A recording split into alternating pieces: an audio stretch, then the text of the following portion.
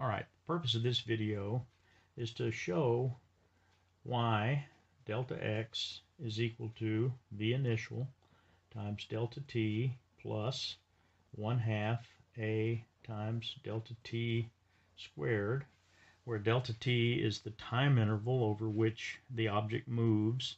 This is the initial uh, speed or velocity, and this is the acceleration.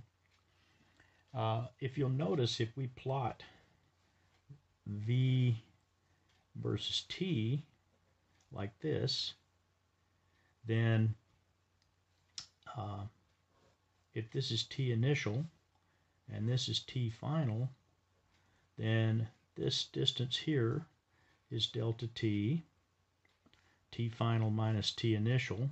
That's what delta t is. Delta t is equal to t final minus t initial.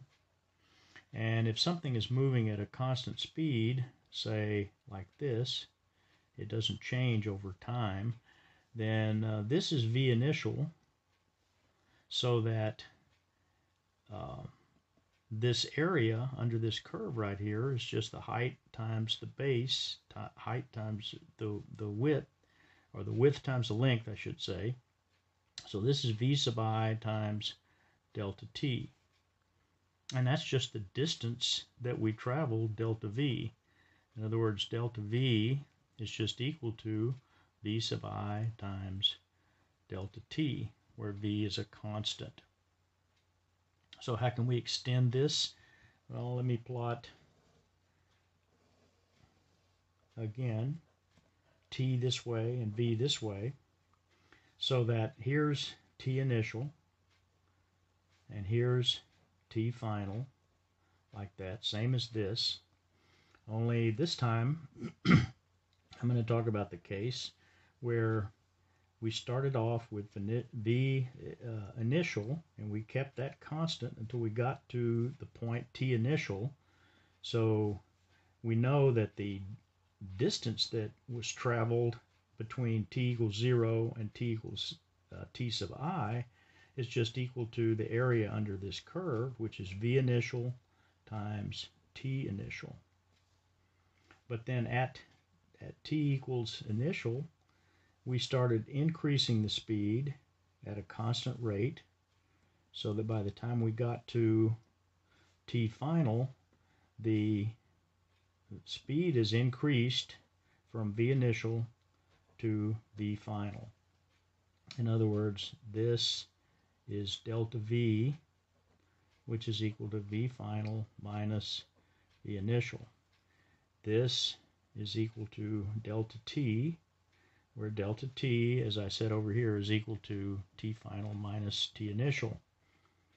So the total amount of distance that we traveled is just the area under this curve, which is V initial, in other words, the final distance that we, we've achieved by the time we got to T final, it's equal to this area here, V initial times T initial, plus the area under this, and we can easily figure that out because part of it here, this is just V initial times delta T.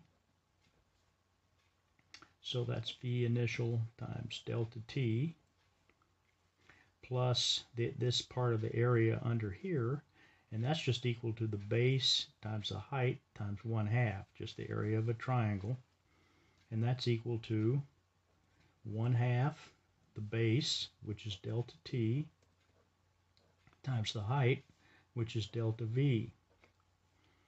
But from the definition of acceleration, constant acceleration, average acceleration is just delta v over delta t, and that means that delta v is equal to a times delta t. Or I can say that x final is just equal to v initial times t initial plus v initial times delta t plus 1 half delta t times delta V, which is just A times delta T.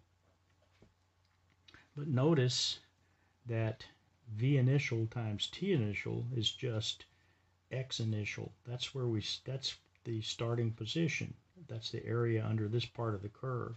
So this is equal to X initial, that's what this is, this X initial, plus V initial times delta T plus 1 half A times delta T squared. That's what X final is. But if I move this to the other side of the equation and write it as delta F, excuse me, uh, X sub F minus X initial, that's equal to delta X, and that is equal to V initial times delta T plus 1 half A times delta T squared. And although I'm running out of ink here, that is what I intended to show you.